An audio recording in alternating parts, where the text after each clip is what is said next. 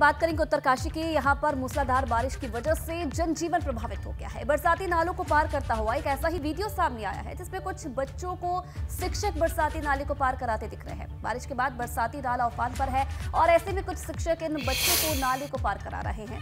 ये बच्चे Mazagon inter college में पढ़ाई करते हैं। तस्वीरें आप देखिए, बड़कोट की तस्वीरें हैं किस तरीके से जो शिक्षक है बच्चों को ये नाला पार कराते हुए नज़र आ रहे हैं और बारिश की वजह से नदी नाले उफान पर हैं।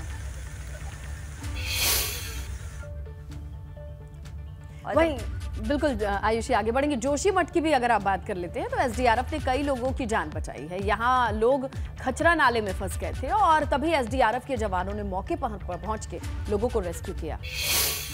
और एक घंटे की मशक्कत के बाद सभी को सुरक्षित निकाला गया है। कुल 50 लोग इस नाले में फंस गए थे और तस्वीरें भी आपके सामने हैं। किस तरीके से जो नदी नाले हैं, उफान पर हैं, बारिश की वजह से और ये तस्वीरें आप देखिए 50 लोग नाले के उस पार फंस गए थे, जिसके बाद एसडीआरएफ की टीम मौके पर पहुँची और इन सभी 50 लोगों को रेस्क्यू किया।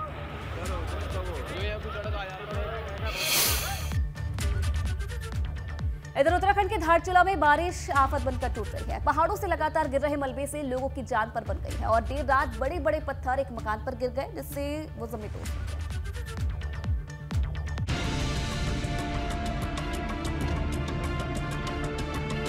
जोशीमठ में 50 परिवार दहशत के साय में ज़िंदगी गुजार रहे हैं। गाँव के कुछ ऊपर पहाड़ी में भूस्खलन हो रहा है। ज़मीन धंसने से ग्रामीणों में दहशत। है इस तस्वीर को देखिए नीचे पूरा गाँव बसा हुआ है। उससे कुछ ऊपर पहाड़ी में भूस्खलन हो रहा है। इस जगह पर एक बड़ा गड्ढा बन गया है। ग्रामीणों को आशंका है कि अगर यहाँ से ज़मीन खिसकी तो सीधे इनके घरों के ऊपर मलबा आकर गिरेगा।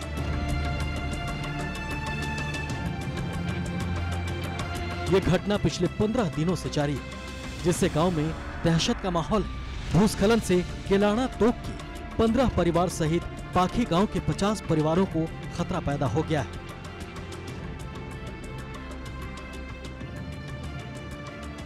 ग्रामीण मांग कर रहे हैं कि इस जगह का वैज्ञानिक सर्वेक्षण होना चाहिए, ताकि ये पता चल सके कि आखिरकार ज़मीन के नीचे किस तरह की हरकत हो रही है। एबीपी गंगा के लिए जोशीमठ से रणजीत रावत की रिपोर्ट।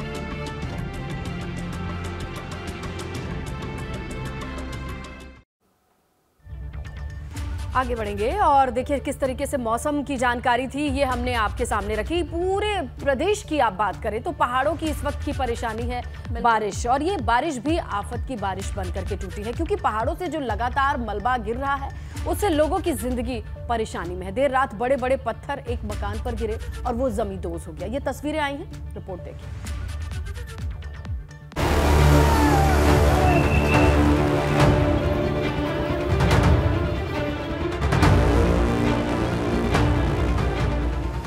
भूस्खलन की ये भयानक तस्वीरें सामने आई हैं पिथौरागढ़ के धारचूला से। वहाँ के मल्ली बाज़ार में पहाड़ से एक बड़ा पत्थर एक तीन मंजिले मकान पर आ गिरा, जिसकी वजह से पूरा घर जमींदोज हो गया। गनीमत रही कि मकान पहले ही खाली करा लिया गया था, जिसकी वजह से लोगों की जान बच गई। लेकिन जैसे ही पत्थर तीन मंजिली इमारत पर गिरा, वहाँ अफरा तफरी बच गई। लोग जान बचाने के लिए इधर उधर भागने लगे। इस दौरान कई लोग अपनी दुकानों का शटर भी बंद करते देखे गए। प्रशासन ने एहतियातन मल्ली बाज़ार को खाली करवा लिया है। Bureau report ABP Ganga.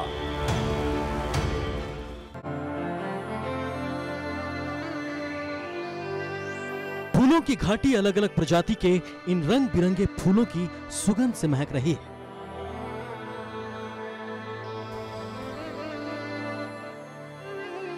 फूलों की घाटी में इन दिनों 300 से ज़्यादा प्रजाति के फूल अपनी रंगत बिखेर रहे हैं। इन फूलों की खूबसूरती पर्यटकों को मंत्रमुग्ध कर रही है।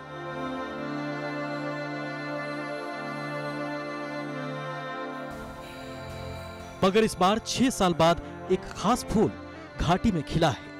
हल्दिया का फूल सैलानियों को आकर्षित कर रहा है।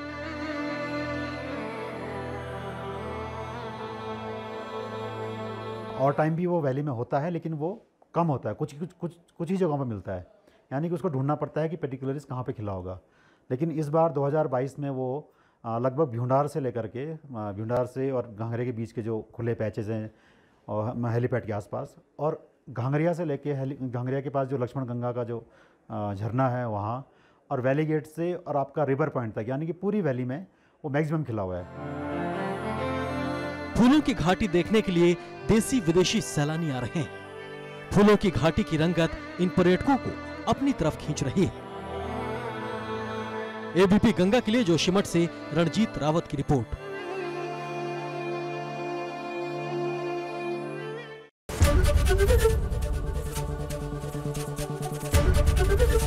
एबीपी गंगा, खबर आपकी जुबा आपकी।